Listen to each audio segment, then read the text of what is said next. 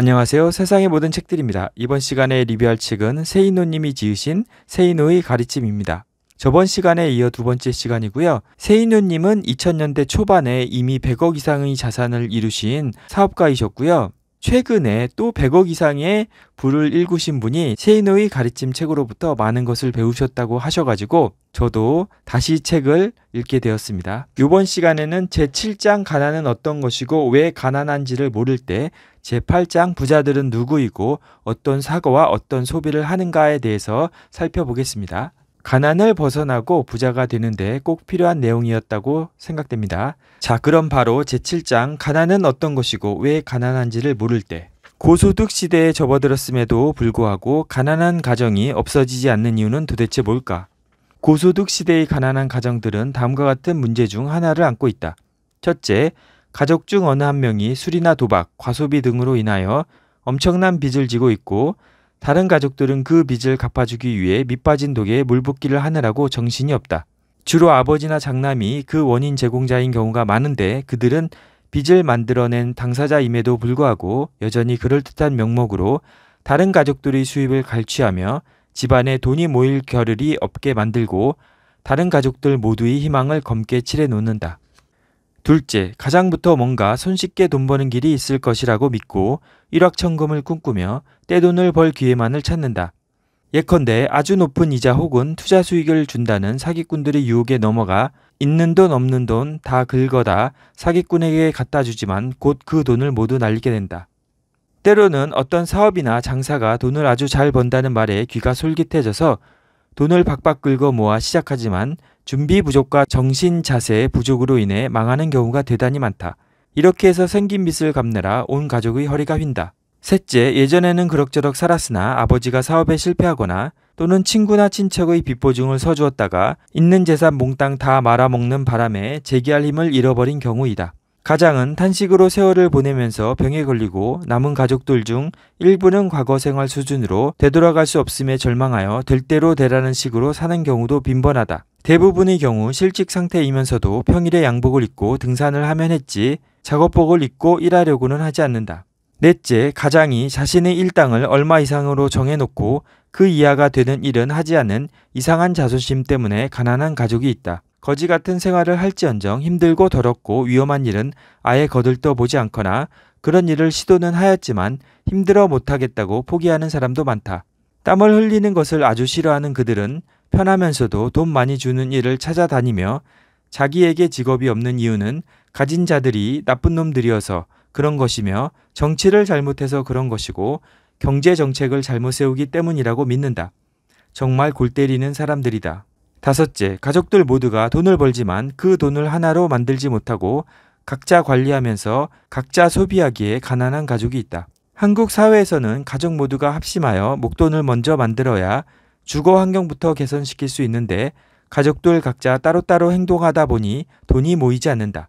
이를테면 장녀는 장녀대로 자기 화장품과 옷가지를 사느라고 수입을 거의 다 사용하며 장남은 분수에 넘치게 자가용 하나를 끌고 다니며 친구들과 어울리느라고 수입 이외에 카드비까지 지는 뭐 그런 식이다. 여섯째, 공부도 별로 잘하지 못하는 자식을 어떻게 해서든지 대학에 보내려고 또는 그 자식들이 성적도 뛰어나지도 않은데 자신의 처지는 생각하지 않고 길을 쓰고 대학을 가느라고 가족 수입의 상당 부분을 교육비로 투자하는 바람에 가난에서 벗어나지 못하는 가족도 있다. 그 자식이 별 볼 일 없는 대학이나 심지어 대학원을 마칠 때까지 용돈까지 쥐어주는 한심한 가족도 있다.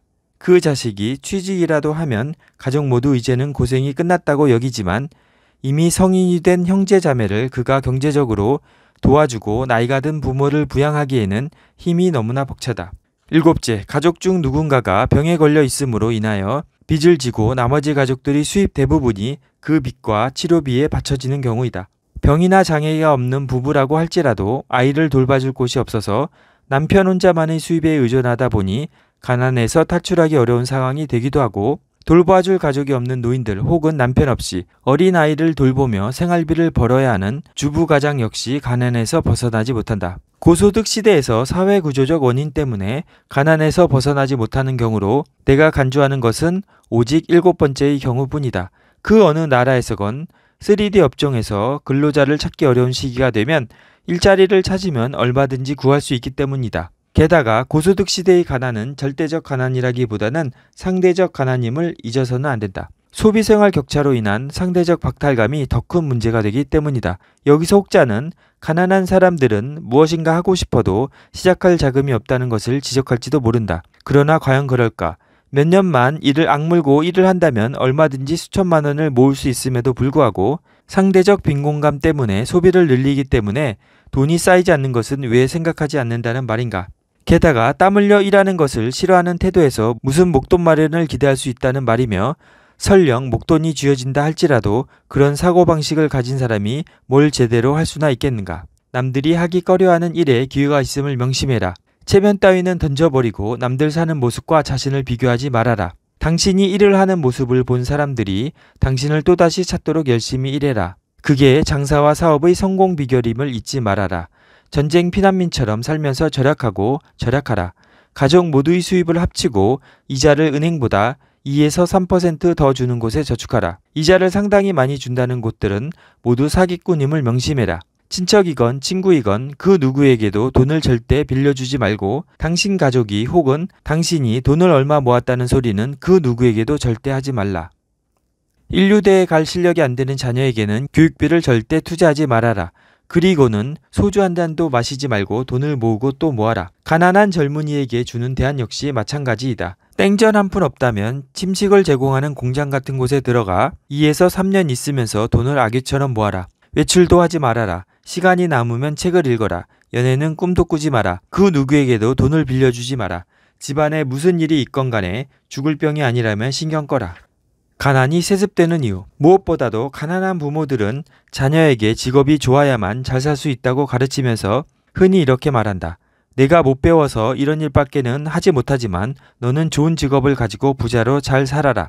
즉 자신이 가난한 이유는 직업이 역 같아서 그런 것이므로 제대로 교육을 받아 현재 하는 일과는 다른 직업을 가졌다면 가난하게 살지 않을 것이라는 것이다. 하지만 자녀는 자기들 역시 부모가 갖고 있는 직업의 범주에서 크게 벗어나지 못함을 알게 되면서 가난을 그 부모가 대부분 그랬듯이 마치 운명처럼 받아들이게 된다.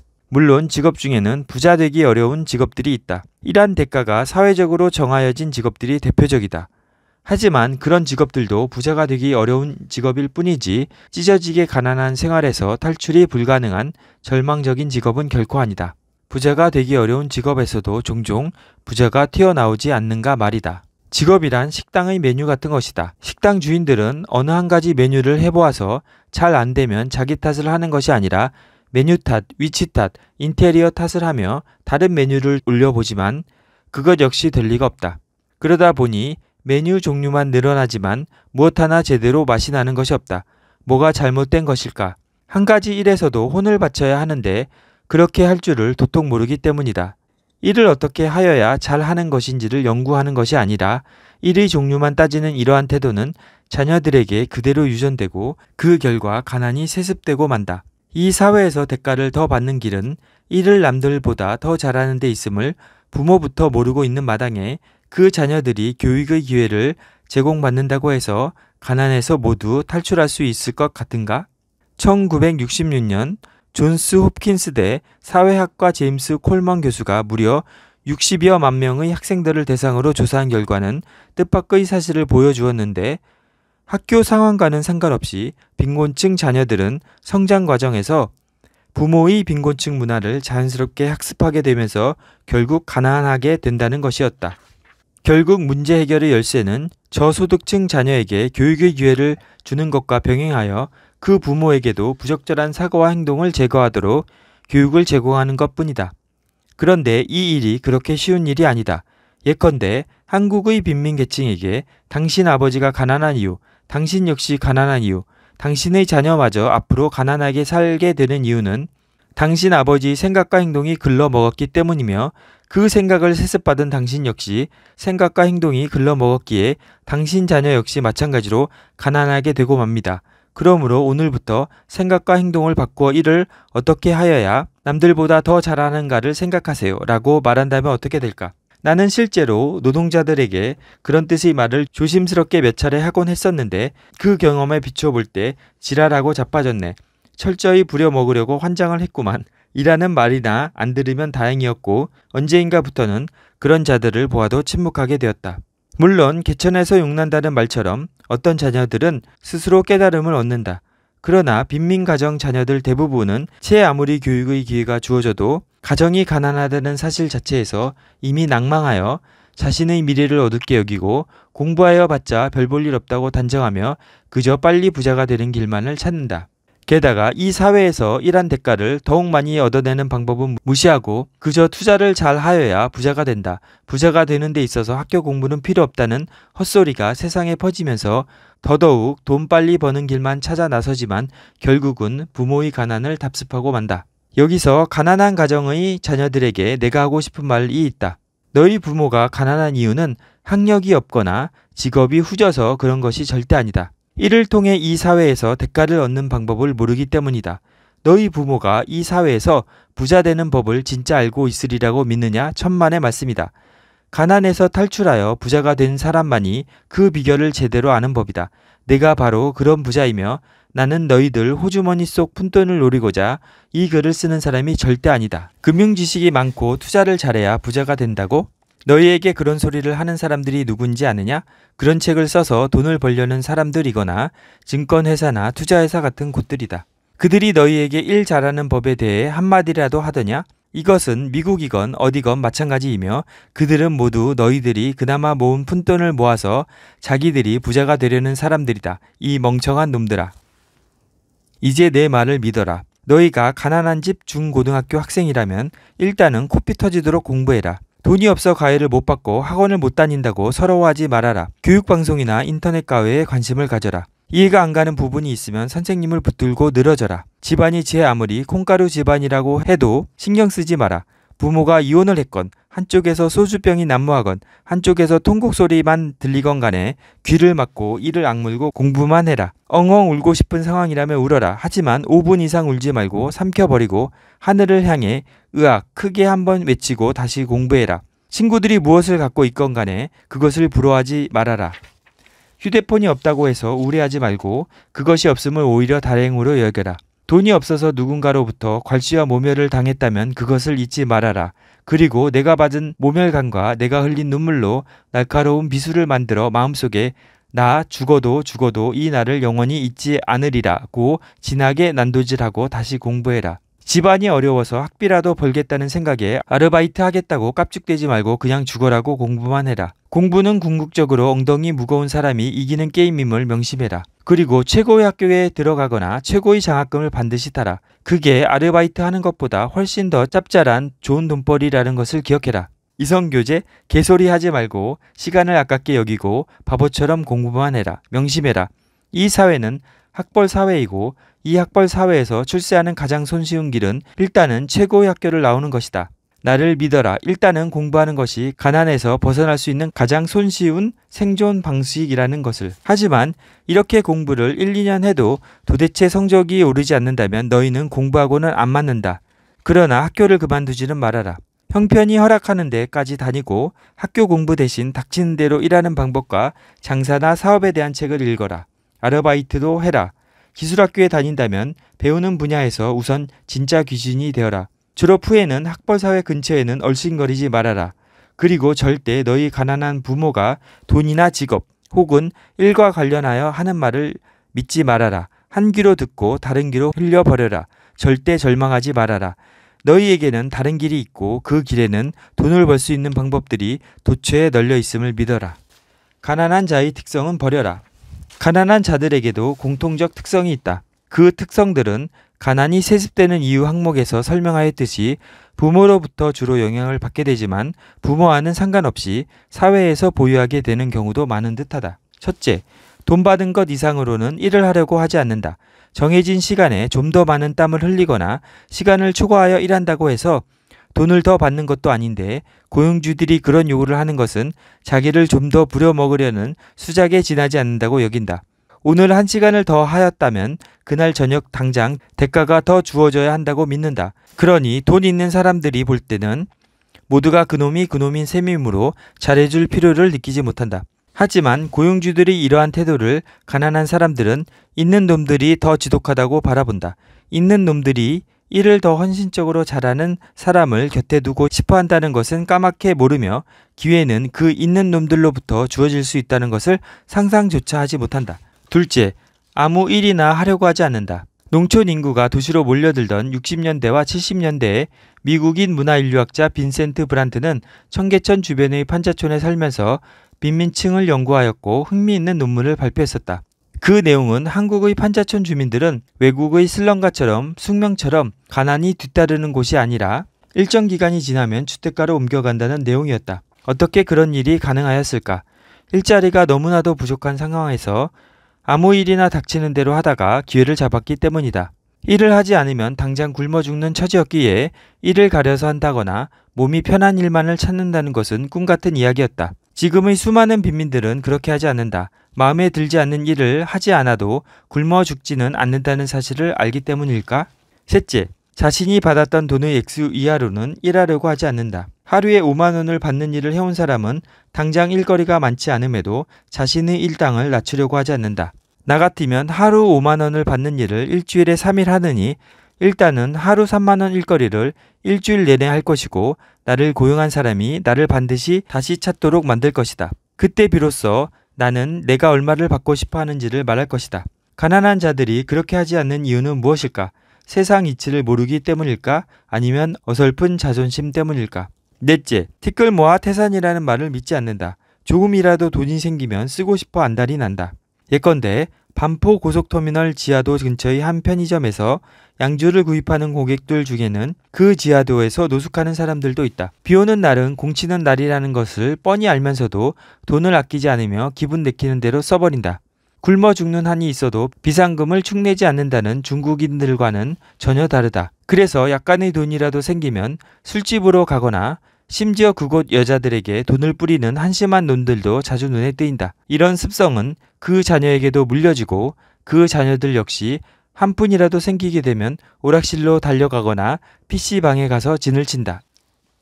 다섯째, 운명론을 받아들이고 사주팔자를 신봉한다. 정주영은 무엇을 했어도 부자가 될 팔자였지만 자신은 뭘 해도 마찬가지라고 생각한다.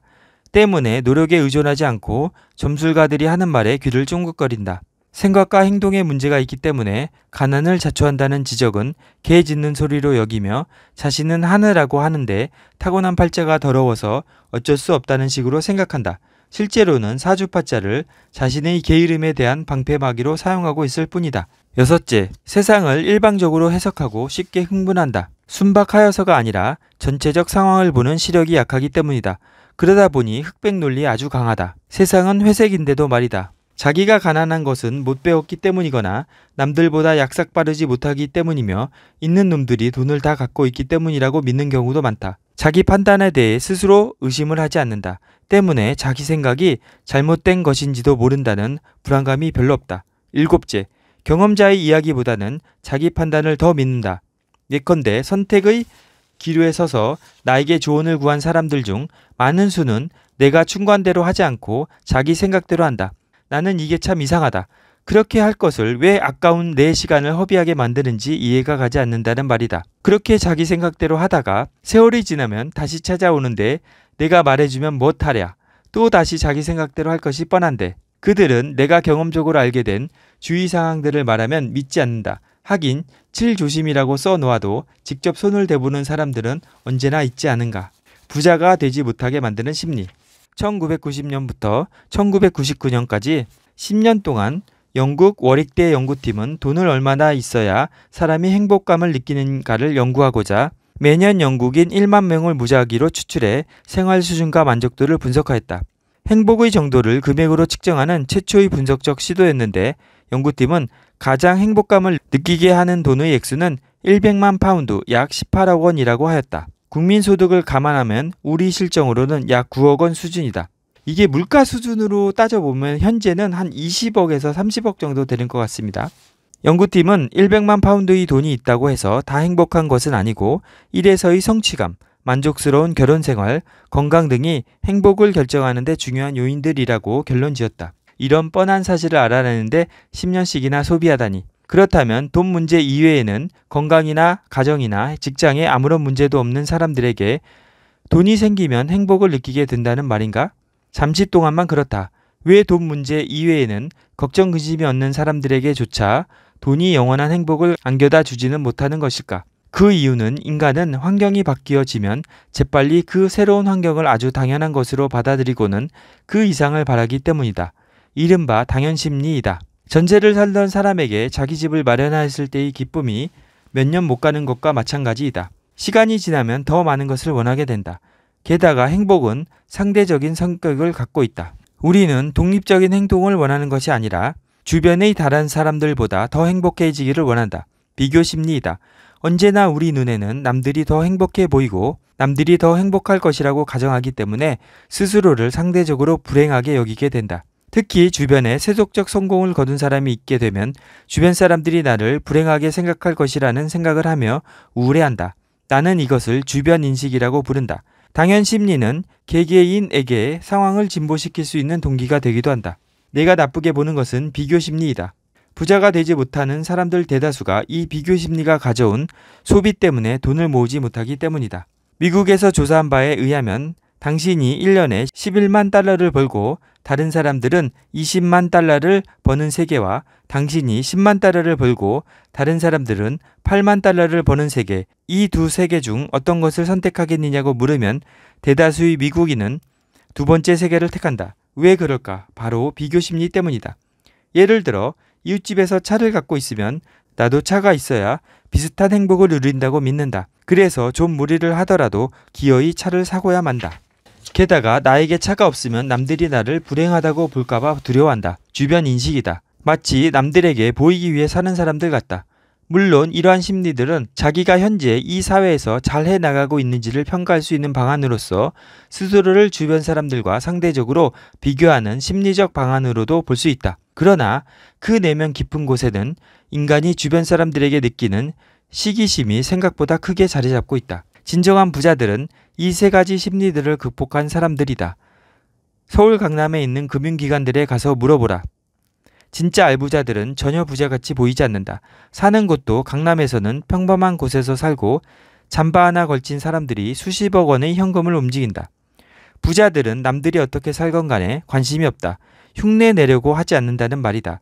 그들은 현재의 상황이 아무리 좋아도 다시 나빠질 수 있음을 알고 대비하려고 한다. 남들과 비교하며 살지 않는다.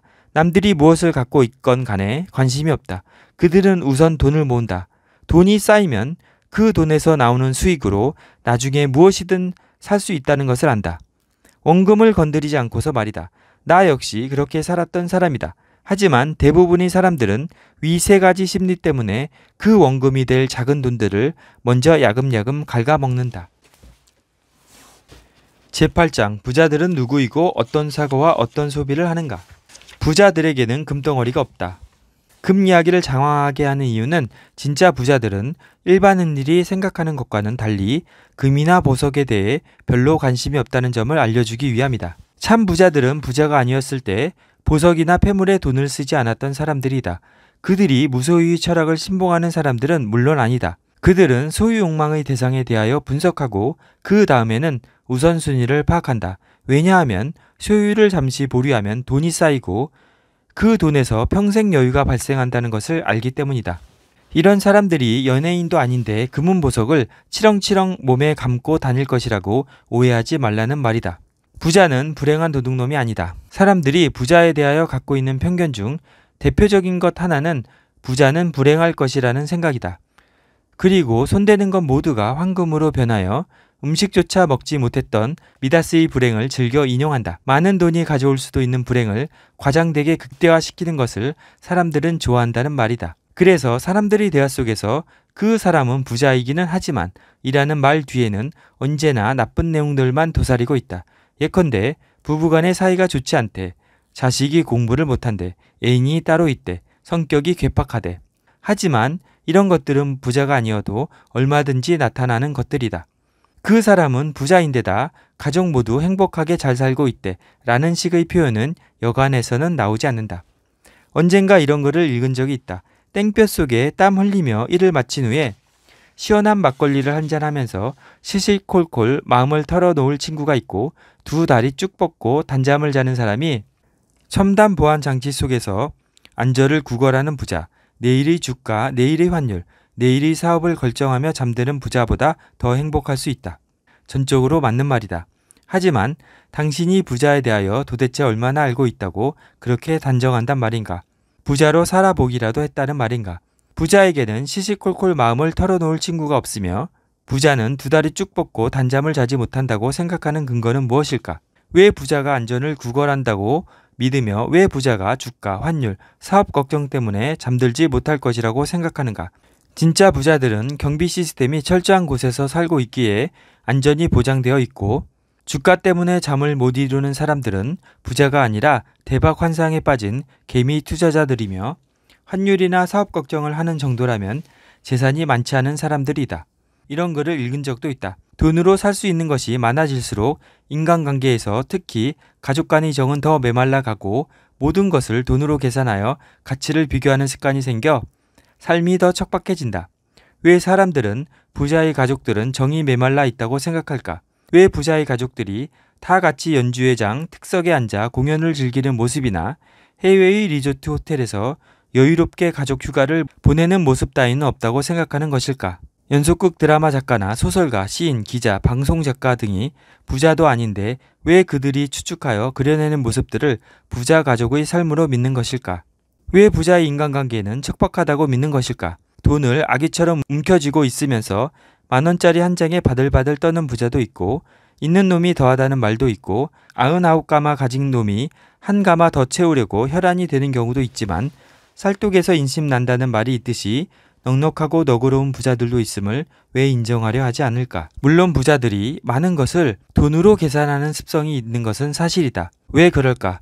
돈이면 다 된다는 생각에서일까? 아니다. 이것을 이해하려면 경제의 속성부터 배워야 한다. 내가 묻는다. 경제를 배우라는 이유는 무엇인가? 돈을 더 벌기 위함이라고 생각하면 오산이다. 선택을 현명하게 하기 위함이다. 같은 재화를 갖고서 얻을 수 있는 가치들을 비교 선택하여 불필요한 낭비를 없애고 미래를 대비하기 위함이다. 당연히 자신이 선택할 수 있는 것들에 대한 가치 비교가 있어야 한다. 같은 값이면 다홍치마를 고르기 위해 따져봐야 한다는 말이다. 부자들은 종종 물건값을 지불할 때 당신이 보기에는 야박하다 하지만 그들은 어떤 물품이나 서비스에 대하여 필요 이상으로 지불하는 것을 멀리하여 왔기에 부자가 된 것임을 기억하라. 어떤 사람은 이렇게 말할지도 모른다. 따뜻한 삶은 오히려 청빈한 생활, 겸손한 성품, 자신의 한계를 인정하는 데서 생기는 여유 속에서 이루어진다. 그가 부자이든 가난하든 만족할 줄 아는 내적 힘을 가진 사람, 다른 사람을 배려해서 자신의 이익을 포기할 줄 아는 사람이 더 행복한 삶을 살 것이다. 물론이다. 그렇지만 인도의 인구 10억 명 가운데 90% 이상이 가난한 이유를 혹시 아는가? 현 세상은 떠나가는 바람 같은 것이며 내세가 진짜 인생이라고 믿는 힌두교 때문이다. 자신의 한계를 인정하는 것은 좋지만 적어도 노력은 해보고 나서 그런 한계를 인정하는 것이 좋지 않을까? 인생은 어차피 빈손으로 돌아간다는 철학에 빠져 있다면 무슨 발전이 있겠는가? 돈이 아주 많이 생기면 자동적으로 불행하여진다는 공식을 이제는 버려라. 돈을 심포도라고 미리 단정 짓고 뒤돌아서는 여우가 되지도 말아라. 부자를 흉본다고 해서 그 부자가 가난해진다는 것도 아니다. 넉넉하진 않지만 행복하게 살 수도 있듯이 돈이 많아도 행복하게 살 수 있다. 당신도 부자가 되면 가족들과 행복하게 잘 살겠다는 것이 목표이지 않은가. 부자들을 모두 다 부정한 방법으로 부자가 되었다고 매도하거나 모두가 다 도둑놈들이라고 몰아붙이지도 말아라. 땀 흘려 떳떳하게 돈을 번 부자들이 언론에 보도되지 않는다고 해서 그런 부자들은 없다고 믿는다면 언론에 보도되는 흉악범들은 모두 부자가 아니므로 부자가 아닌 사람들은 모두 흉악범들이라고 생각하는 것과 다를 바 없다. 중요한 사실은 부자를 불행한 도둑놈이라고 믿는 사람들 대다수가 내심으로는 부자가 되고 싶어 한다는 점이다. 참 부자들까지도 모두 다 도둑으로 생각하고 불행한 삶의 소유자라고 생각한다면 사람들은 왜 부자가 되려는 것인가? 사람들 머릿속에 부자는 불행한 도둑놈이라는 공식이 박혀 있는 한 부자가 되려고 하는 것은 꼭 똑같이 불행한 도둑놈이 되겠다는 생각을 하는 것이다 마찬가지 아닐까. 부유하다는 것이 죄는 아니다. 고급 승용차 뒷좌석에 앉아 있는 사람들이 모두 다 도둑으로 보인다면 당신은 결코 부자가 될 가능성이 없다고 하여도 과언이 아니다. 진정 부자가 되고 싶은가? 그렇다면 이제는 부자에 대한 억측을 하지 말라. 명심하라. 부자들에 대한 수많은 책들이 사실은 부자들이 쓴 고백서는 아니라는 사실을 그러므로 부자들이 삶을 강 건너에서 바라보고 추측하여 쓴 책들은 그 어느 것이든 무시하여라. 참 부자들이 생각과 마음을 배워라. 부자는 돈독이 들어 부자가 된 사람들이 아니다. 무슨 일을 하건 간에 시간과 노력을 아낌없이 투자하여 다른 사람들과 차별화를 가져올 때 부자가 태어나는 것이다. 그들은 그 과정에서 환희를 느끼며 살아온 사람들이며 당신의 생각과는 달리 전혀 불행하지도 않고 도둑놈도 아니다. 부자들에게는 과소비가 없다. 부자가 된다는 것을 방해하는 가장 큰 암초는 수입의 상당 부분을 과소비하는 생활 태도이다. 흔히 과소비에는 세 가지가 있다고 한다. 부유층의 과소비, 중산층의 모방소비, 하류층의 자포자기식 실망소비가 그것이다. 하지만 과소비가 능력 이상의 소비를 의미하는 이상 부유층의 과소비라는 것은 존재하지 않는다. 과소비는 부자들이 하는 게 아니다. 부자도 아니면서 졸부들을 따라하는 사람들이 분수 이상으로 소비하는 것이 과소비이다. 나는 한 번도 부자들이 수입보다 더 많은 지출을 하여 카드 빚에 시달린다는 말을 들어본 적이 없다. 능력에 따라 소비하는 것은 전혀 문제가 되지 않는다. 때로는 능력에 맞지 않게 소비하였지만 과소비라고 보기 어려운 경우도 있다. 이를테면 여행을 좋아하기 때문에 평소에 먹고 입는 것에서 거의 거지 수준으로 살면서 엄청나게 절약하고 그렇게 모은 돈으로 해외여행을 떠나는 사람을 나는 과소비를 한 사람이라고 비난하지 않는다. 오히려 멋지게 사는 사람이라고 믿는다. 술, 담배를 모두 끊고 그 돈으로 자기가 좋아하는 취미에 몰두하거나 이웃 사랑에 사용하는 사람들 역시 삶을 지혜롭게 살 줄 아는 사람 아니겠는가. 내가 과소비라고 단정하는 것은 일상생활에서 입고 걸치고 마시고 먹고 놀고 타는 데 있어서 갖가지 그럴듯한 핑계를 대며 이루어지는 중산층의 모방 소비와 하류층의 실망 소비이다. 능력도 없는데 부자들이 소비를 흉내낸다. 재미있는 사실은 바로 그러한 소비가 부자들을 더욱더 부자로 만들어준다는 점이다. 왜냐하면 그들이 소비하는 것들이 대다수가 실은 부자들이 만들어 놓은 사업체들에서 나오는 것들이기 때문이다. 차재호 서울대 사회심리학 교수는 심리학적으로 과소비 성향은 권력 욕구에서 나온다고 하면서 분수에 맞지 않게 과소비를 하는 것은 자신이 힘을 가졌다는 짜릿한 맛을 즐기기 위함이고 희귀한 물건을 사모으는 것은 권력 욕구의 본질이 남에게 기쁜 인상을 남기려는 데 있기 때문이라고 하였다. 많은 수의 신용카드를 소유하는 경향 역시 그것을 뽐낼 일로 생각할 뿐 아니라 그 카드로 호기 있게 돈을 쓸 수 있기 때문이라는 것이다. 과소비에 대한 또 다른 관점은 애리조나 대학 경영대학원의 에릭 린드 플레이시 박사팀이 1997년에 발표한 논문에서 찾아볼 수 있다. 그 논문은 부모가 이혼한 가정의 젊은이들은 물질적 가치를 높게 평가하고 충동 구매하는 경향이 있음을 밝힌다. 소비벽이 심한 사람에게 우선적으로 필요한 것은 물건이나 돈이 아니라 진실되고 따뜻한 인간관계라는 말이다. 버는 족족 돈을 쓰느라고 통장에 돈이 쌓이지 않는다고? 카드 빚만 계속 쌓인다고? 그렇다면 당신은 진실된 인간관계가 뭔지도 모르고 그저 남들 앞에서 우쭐거리고 싶어하는 허세만 강한 정신적 미숙아일 수도 있다. 부자가 되고 싶어하는 사람에게 있어서 어떤 소비가 과소비인지 아닌지를 판단하여 주는 기준은 오직 하나이다. 자기 개발을 위한 지출이었는가 아닌가 하는 것이다. 기분을 내느라고 사용했는가? 라이프 스타일 유지? 문화생활을 하고자? 휴가를 즐기고자? 나는 그 모든 것들을 과소비로 몰아붙인다. 명심해라. 부자가 되고 싶어 하는 사람들의 하나다는 조건이 있다. 너무 지나치지 않느냐고? 특별한 천재적 재능도 없는 나 같은 보통 사람이 부자가 되려면 일단은 최우선적으로 악착같이 돈을 모아야 할 것 아닌가. 쓸 것 다 쓰고 즐길 것 다 즐기고 무슨 돈으로 뭘 어떻게 해서 부자가 되겠다는 말인가. 지금 당신의 서랍과 장롱 속에 뭐가 있는지 잠시 생각해보라. 그리고 직접 확인해보라. 평상시에는 기억조차 나지 않는 것들을 당신이 상당히 많이 갖고 있음을 알 것이다. 그것들을 살 때는 갖고 싶어서 샀을 텐데 왜 지금은 기억조차 나지 않는 것일까? 없어도 될 것들을 구입하였기 때문 아닐까? 없어도 되는 것을 구입하는 그 헛된 행동에서 벗어나려면 제일 먼저 신용카드를 없애버려라. 당신에게 꿈을 꾸고 당신을 세상에서 당당하게 만들어주는 카드, 당신에게 겁을 주고 삶을 텅 비게 만드는 카드만 있을 뿐이다. 모두가 평등하게 잘 사는 사회를 꿈꾸지 말아라. 그리고 명심해라. 시장 경제에 대한 대안이 없는 상황에서 당신이 돈을 어디에 사용하고 어떻게 모으는가 하는 것은 당신이 얼마나 신중하게 자기 삶을 꾸려나가고 있는지를 보여주는 잣대가 된다는 사실을 말이다. 있는 놈들은 돈을 어디에 얼마나 펑펑 쓸까? 사람들은 흔히 있는 놈들은 돈을 펑펑 쓴다고 믿는다. 하지만 그저 일하는 것이 취미이거나 그저 돈 모으는 것이 유일한 즐거움인 부자들 중에는 만 원 한 장 쓰는데도 바들바들 떠는 사람들도 있다. 과연 한국에서 최고 부자들은 돈을 어디에 얼마나 펑펑 쓸 수 있을까?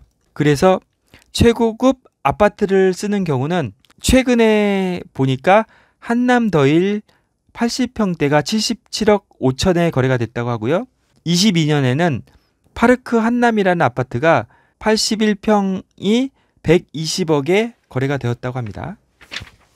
그리고 재벌 회장들이 사는 주택은 200억에서 300억 정도 한다고 하고요. 그 다음에 자동차, 골프장 회원권, 최고급 별장, 그리고 가족 생활비 등에 돈을 쓴다고 합니다. 여기서 생활비나 자동차를 제외한다면 있는 놈들이 돈을 펑펑 쓰는 1차적 대상은 부동산이나 회원권이라는 사실에 주목하기 바란다. 그것들은 소비라기보다는 투자의 대상이기도 하기 때문이다. 있는 놈들이 경제적 투자가 아닌 목적에서 개인 돈을 펑펑 쓰는 소비적 분야는 아마도 자기 취미 생활일 것이다. 골프에 미치면 몇 천만 원짜리 골프채 세트를 사고 난에 미치면 난 한 촉에 천만 원도 주고 젊은 여자에 미치면 집도 사주며 음악을 좋아하면 나처럼 억 이상을 오디오 시스템에 꼬나박고 그러는 것이다. 어쨌든 무슨 취미이건 간에 그것도 몇 년 해보면 시들시들해진다. 미국 로체스터대 심리학과 리처드 양 교수는 상품을 통해 더 많은 만족을 추구할수록 발견하는 것은 더 적어질 뿐이며 만족감은 반감기가 빠르고 빠르게 사라진다고 하였다. 소유가 주는 만족감은 곧 사라지는 기쁨이라는 말이다. 더 이상 소유하고 싶은 것이 없을 때 부자는 허탈해진다. 나 역시 비슷한 경험을 한 적이 있다. 음악 감상을 좋아하기에 처음에는 오디오를 업그레이드 시킬 때마다 행복해 하였다. 그러다가 억대의 오디오로 바꿨더니 얼마 안 가 기계 자체에 대한 관심은 시들해졌다. 30대에는 처음으로 벤츠도 샀다. 그 당시에는 수입 자동차 세금이 지금보다 훨씬 많았었기에 상당한 돈이 소요되었다. 그런데 막상 그 차의 뒷좌석에 처음 앉고 나서부터 몇 개월간 우울증에 시달렸다. 왜 내가 우울증에 걸렸을까? 더 이상 갖고 싶은 것이 없어졌던 것이다. 수천 년 전 모든 것을 다 갖고 있었던 솔로몬 왕이 헛되고 헛되니 모든 것이 헛되도다. 곧 탄식하였던 이유도 소유가 주는 기쁨이 종식되었기 때문일 것이다. 어떤 독자의 말, 그렇게 헛되고 헛되다라고 말하게 되어도 좋으니 돈이 정말 많았으면 좋겠다. 나의 대답, 100% 이해한다.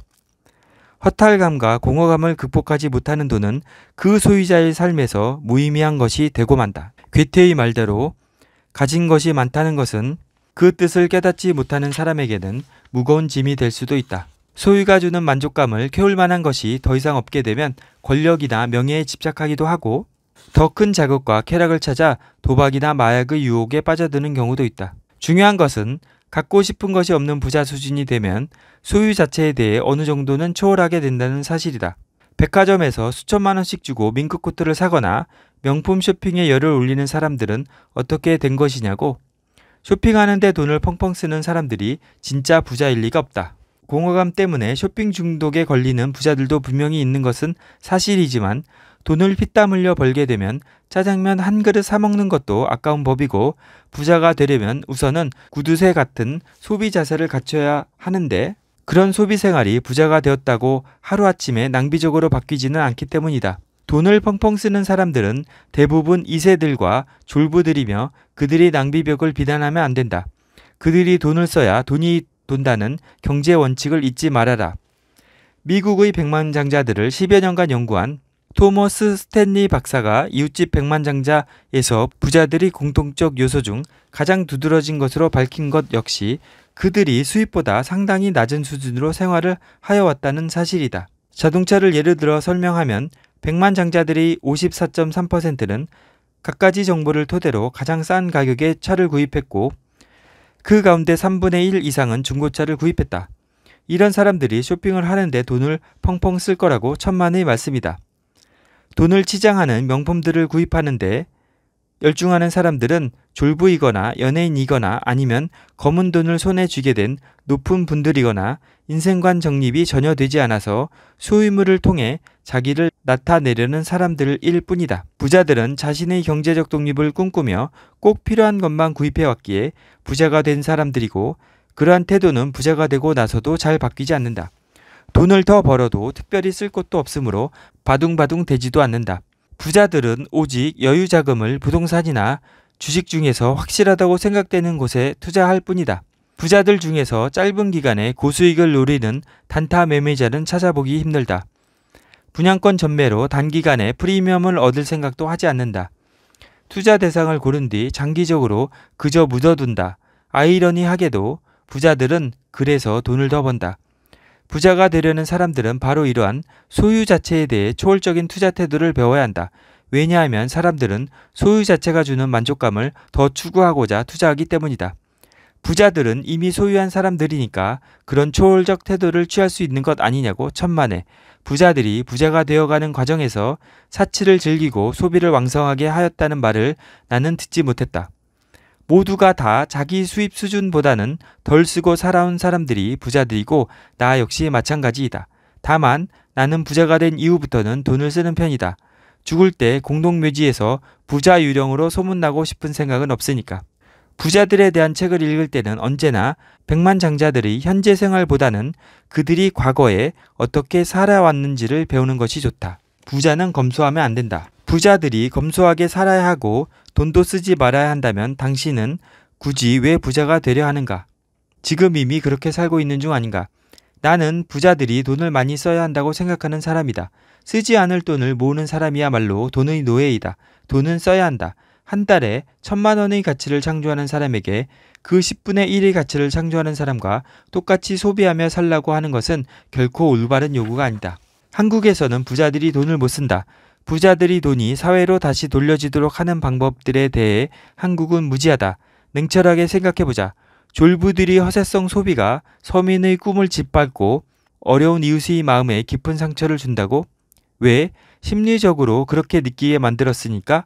그렇다면 천재는 둔재의 마음에 상처를 주었으므로 처단해야 하고 미스 코리아는 다른 여자들의 마음을 우울하게 하였으므로 처단해야 한다는 말인가? 부자들이 돈이 사회로 환원되게 하려면 자선을 하라고만 할 것이 아니라 허세성 소비라 할지라도 돈을 쓰도록 분위기 조성이 되어야 한다. 그래야 돈이 돈다. 돈이 돌아야 고용이 창출되고 투자도 이루어진다. 1억짜리 밍크코트도 팔려야 하고 40억짜리 아파트도 팔려야 한다.